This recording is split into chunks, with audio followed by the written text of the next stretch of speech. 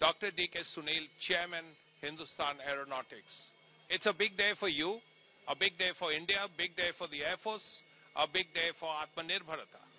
Yes, definitely. Uh, it's a very big day today that uh, we have the first uh, Tejas rolling out of our uh, HAL Nashik plant, uh, which is the third line of the LCA.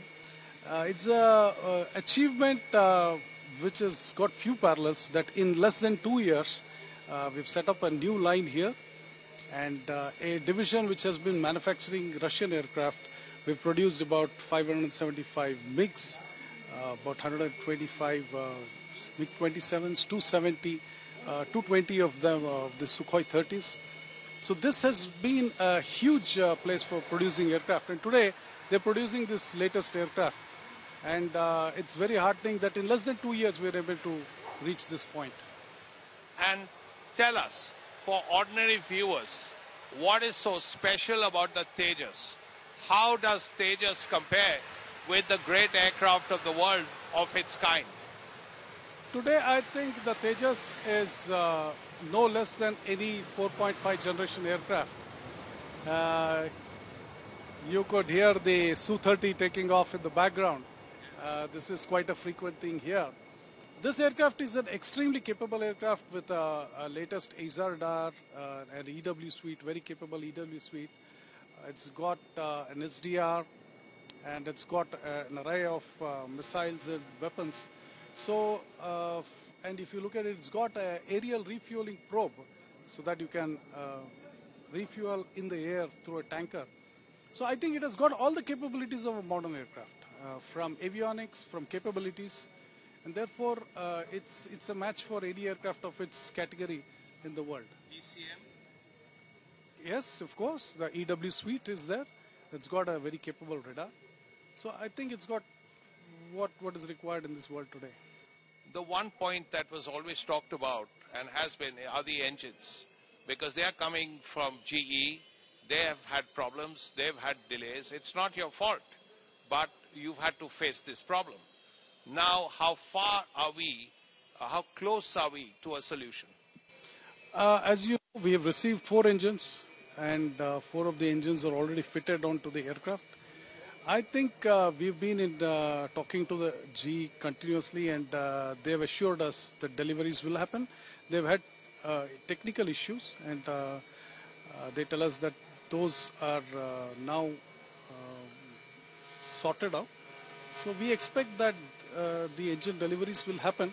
Perhaps initially uh, the ramp up seems to be slow, but eventually I think we'll be producing this aircraft in numbers.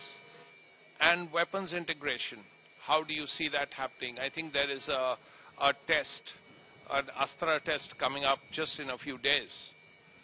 The uh, weapon integration has been uh, successful as far as the aircraft is concerned. Now we need to actually test them in the range, uh, deliver them and see their accuracies and so on. Uh, that's underway. So I'm hopeful that uh, we will see some good results and uh, that will be one more uh, milestone crossed once we do that because the aircraft is built, it has got all the systems, uh, so weapon integration and delivery. Uh, weapon delivery will be the key thing. If that is done, I think we are we will be hitting the home run. The government seems to want at least 10 LCA Mark 1As by the end of the financial year. Now, is that feasible? And what are timelines after that like? As I said, today we have 10 aircraft ready. This is the 10th aircraft, 9 in Bangalore. This is the 10th aircraft which are ready, which are already flown and uh, tested and ready. So I think 10 is not a number at all. I mean, not, not to worry. We have 10 aircraft ready today. Definitely we are going to build more and more aircraft and bring it to this situation. This has a Cat B aircraft engine, but it has been tested. We're waiting for an engine. So I think the quantities are already happening. So definitely we will be able to produce more aircraft. The, the uh, supply chain uh, is, uh, is running, the production lines are running. So I think the quantities will definitely ramp up. You looked at 180. So you see that happening in about five to six years. Uh, 32, 33 is what we are saying, by which time the, all the 180 will be produced. Uh, by which time this ramp up will happen. And when the Air Force also has to take them, you must be discussing with them and all these final issues are being sorted out, I imagine. Yes, of course. They are also part of the team. It's not as if we have to talk to them. Uh, the Air Force is part of the test teams and we have these reviews, regular reviews where they are updated and uh, they are aware of what's happening in the aircraft, what's the testing, what is the status. So that's a, a regular affair. So they're very well aware of what's happening and uh, they're very supportive of uh, the efforts. One, of course, there's the issue of exports, but that apart, this is like your child. To, on a day like this, it's almost like you'd be giving birth. You're, you're becoming a father. Yes, uh, father for the third time, I would say, because we have two children already in Bangalore. This is the third. Yeah, it's a great feeling uh, that uh, such a huge number of people. We have uh, the design agency ADA and ARDC in Bangalore, and Nashik is so far away. But today we have built a seamless cooperation between them to produce such a complicated machine.